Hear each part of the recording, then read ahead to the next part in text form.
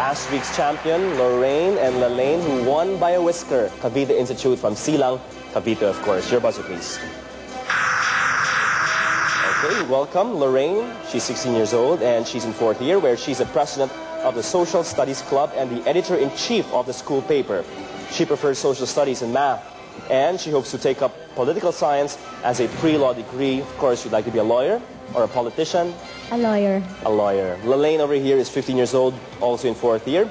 She likes math and physics, and she's the president of the Cavite Science Youth Student Council and vice chairman of the Student Council. Lalaine plans on studying ECE in college. You know, the last time you won, you couldn't believe it.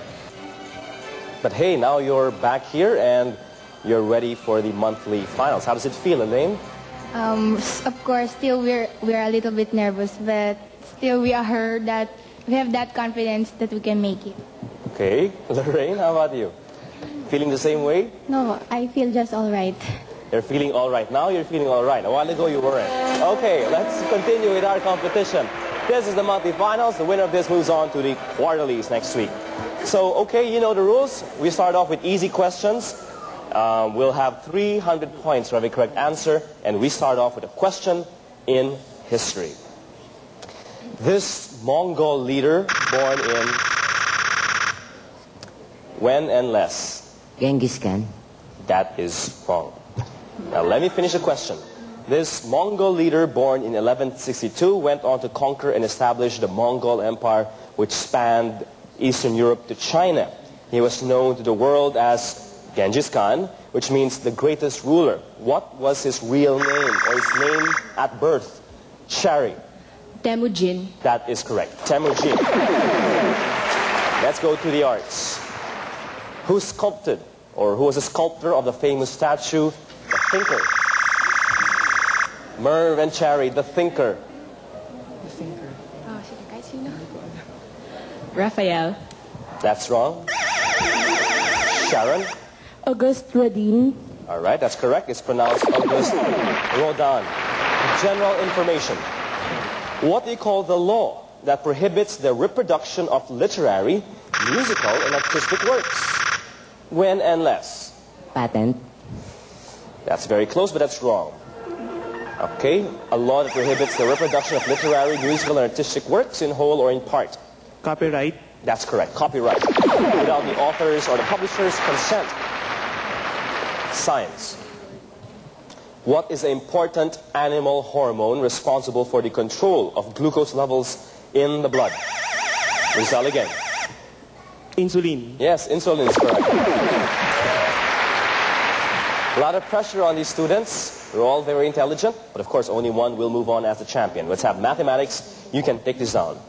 The sides of a right triangle are denoted as x, x plus 1, and x plus 2. What is the largest side of this triangle? Your time begins now. Alexis? Five. Hey, that's correct. Five is correct. Very good. Let's go to history. What policy pursued by Gorbachev? Yes, our UN Secretary General. Uh, glasnost or the open policy? That's correct. Glasnost. Allowed for greater freedom of expression in the former Soviet Union. The arts. In what play by Shakespeare can one find the following lines? Be careful, Shakespeare had a lot of plays. Life's but a walking shadow. Holy Angel? Uh, i should like it. That's wrong. Life's but a walking shadow. Lorraine and Elaine. The Merchant of Venice. Wrong. Now, let me finish. Maybe it might be familiar to you. Life's but a walking shadow, a poor player that struts and frets his hour upon the stage and then is heard no more. Where do you find these lines? Shakespeare. Rizal? Much to do about nothing. All right, we're running out of his plays. Angeles City. As you like it. Oh, someone else said that. Sorry. But anyway, probably one of his most famous ones, Macbeth was the answer.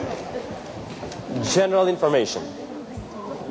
What country occupies a peninsula extending northward from the center of continental Western Europe and has, and this is the giveaway, Copenhagen as its capital? Holy Angel? Denmark. Yes, Denmark is correct.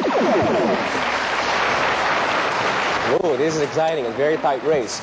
Let's have science. What do you call any substance that is used to detect the presence of a chemical substance by its change of color?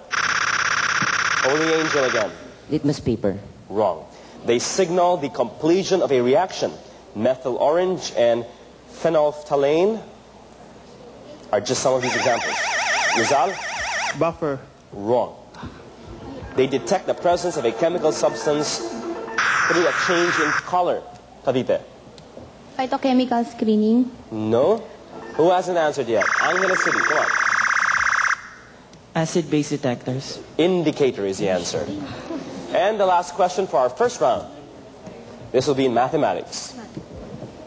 How much is 256 raised to the exponent 3 over 4? 256 raised to the exponent 3 fourths. You have 30 seconds.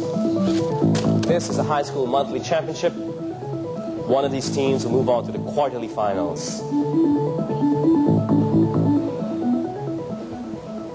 We have Angeles City High School, Rizal High School, Holy Angel University, and of course Cavite Institute, last week's champion.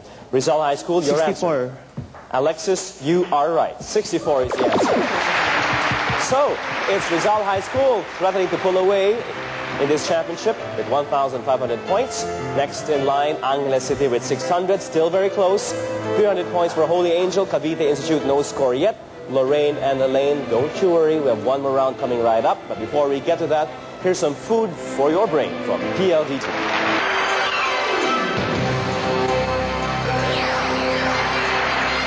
We're back in these hotly contested monthly finals. Right now, it's Rizal High School in the lead. Second place, Angeles City. Third place, Holy Angel and Cavite Institute in final place. But as I said, Lorraine and Elaine, we have one round. And here's the good news.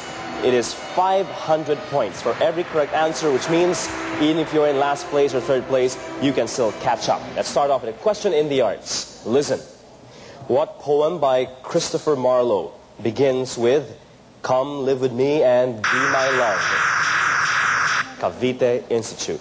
A passionate shepherd to his love. Yes, that's correct. A passionate shepherd to his love.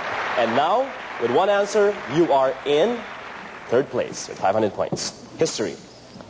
The Korean War of 1950 to 1953 ended on July 27 in 1953 with the signing of this document establishing an end to hostilities without victory to either side and keeping Korea a divided country.